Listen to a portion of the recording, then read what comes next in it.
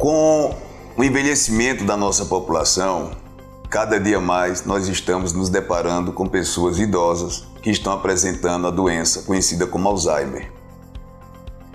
O paciente, geralmente, ele tem uma memória para lembrar muito bem das coisas passadas. Ele vai lembrar de quando tinha 10 anos de idade, quando tinha 11 anos, 20 anos de idade, mas ele vai ter a dificuldade de lembrar o presente. Ele vai esquecer aquilo que ele tomou no café, ele não vai lembrar de coisas que ele fez recentemente. Por quê? Porque a mente dele não vai estar guardando novas memórias. Então, geralmente, nós nos confundimos com o paciente eh, com Alzheimer porque nós achamos que a memória dele está muito bem, porque ele está lembrando muito bem do passado. Mas isso não é vantagem. Você tem que perceber no seu familiar se ele está esquecendo muito presente ou se ele está sendo muito repetitivo. Pode ser um prenúncio que ele está com Alzheimer e é bom procurar ajuda médica.